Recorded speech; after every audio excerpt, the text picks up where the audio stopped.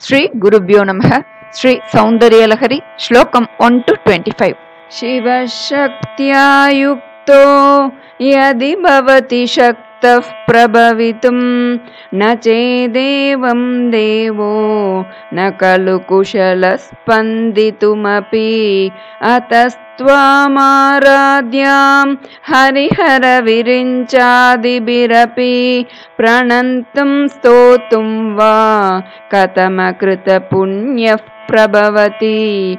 तनीयांसम् पांसुं तव चरणपङ्केरुहभवम्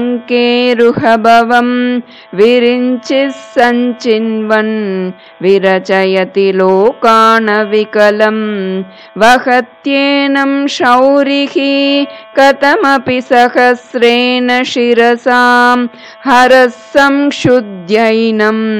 भजति बसितो दूलणविधिम् अविद्यानाम् अन्त तिमिरमिहिरद्वीपनगरी जडानां चैतन्यस्तबकमकरन्दश्रुतिजरी दरिद्राणां चिन्तामणिगुणनिका जन्मजलदौ निमग्नानां दंष्ट्रा मुररिपुवराहस्य भवति त्वदन्यः पाणिभ्याम् अभयवरदो दैवतगणः त्वमेका नैवासि प्रकटितवरा भीत्यभिनया भयात्रातुं दातुं फलमपि च वाञ्छा समधिकं शरण्ये लोकानां तव हि चरणावेव निपुणौ।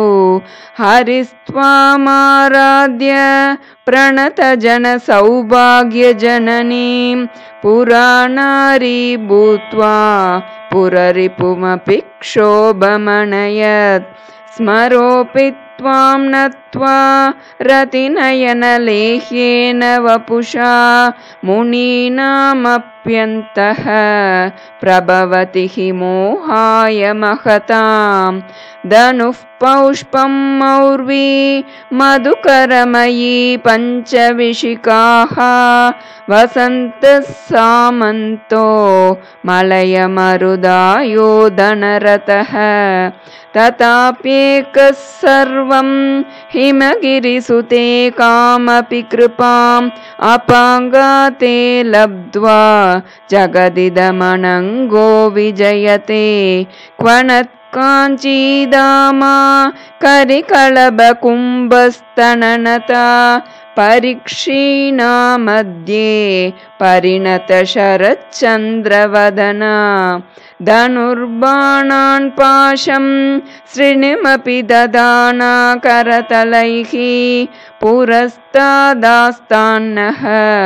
पुरमतितुराहो पुरुषिका सुधासिन्दोर्मध्ये सुरविटपि वाटी परिवृते मणिद्वीपे नीपो पवनवति चिन्तामणिगृहे शिवाकारे मञ्चे परमशिवपर्यङ्कनिलयां भजन्ति त्वां धन्याः कतिचन चिदानन्दलहरीं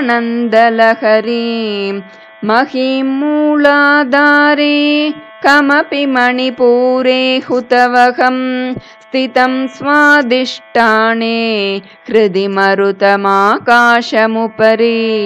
मनोऽपि भ्रूमध्ये सकलमपि भित्त्वा कुलपतं सहस्रारे पद्मे सहरहसि पत्या विहरसे। सुधाधारासारैः चरणयुगलान्तर्विगलितैः प्रपञ्चं सिञ्चन्ति पुनरपि रसां नायमहसः अवाप्य स्वां भूमिं भुजगणिबमद्युष्टवलयं स्वमात्मानं कृत्वा स्वपिशिकुलकुण्डे कुहरिणी चतुर्भिः श्रीकण्ठैः शिवयुवतिभिः पञ्चभिरपि प्रभिन्नाभिः शम्भोः नवभिरपि मूलप्रकृतिभिः चतुश्चत्वारिंशत् वसुदलकलाश्रत्रिवलय त्रिरेकाभिः सार्धम् तव शरणकोणाः परिणताः त्वदीयं सौन्दर्यं तुहिनगिरिकन्ये तुलयितुं कवीन्द्रः कल्पन्ते कथमपि विरिञ्चि प्रभृतयः। यदा लोकौत्सुक्त्यात् अमरललना यान्ति मनसा तपोभिर्दुष्प्रापामपि गिरिशसायुज्य पदवीं। नरं वर्षीयांसं नयनविरसं नर्मसुजडं तवापाङ्गालोके पतितमनुदावन्ति शतशः गलद्वेणीबन्धाः कुचकलशविस्रस्तसिचया हठात् त्रुट्यत्काञ्च्यो विगलितदुकूला युवतयः क्षितौ षट्पञ्चाशत् द्विसमधिकपञ्चाशदुदके हुताश्चेद्वाषष्टिः चतुरधिकपञ्चाशदनिले दिवि द्विषट्त्रिंशत् मनसि च चतुष्षष्टिरिति ये मयूकास्तेषामप्युपरि तव पादाम्बुजयुगं शरज्योत्स्नाशुद्धां शशियुतजटाजूटमकुटां वरत्रासत्राणस्फटिकघटिका पुस्तककरां सकृन्नत्वा नत्वा कथमिव सतां सन्निदधते मधुक्षीरद्राक्षा मधुरिमधुरीणाः पणितयः कवीन्द्राणां चेतः कमलवनबालातपरुचिं भजन्ते ये सन्तः कतिचिदरुणामेव भवति विरिञ्चि प्रेयस्याः तरुणतरशृङ्गारलहरी गभीराभिर्वाग्भिः विदधति सतां रञ्जनममी सवित्रीभिर्वाचां शशिमणिशिलाभङ्गरुचिभिः वशिन्याद्याभिस्त्वां सह जननि सञ्चिन्तयति यः सकर्ता काव्याणां भवति महतां भङ्गिरुचिभिः। वचोभिर्वाग्देवी वदनकमलामोदमधुरैः। तनुच्छायाभिस्ते तरुणतरणिश्रीसरणिभिः। दिवं सर्वामुर्वीम् अरुणिमणिमग्नां स्मरति यः। भवन्त्यस्यत्रस्यद्वणहरिणशालीननयनाः सहोर्वश्यावश्याः कति कति न गीर्वाणगणिकाः मुखं बिन्दुं कृत्वा कुचयुगमदस्तस्य तददः हरार्धं ध्यायेद्यो हरमहिषिते मन्मथकलां ससद्यः संक्षोभं नयति वनिता इत्यति लघु त्रिलोकीमप्याशु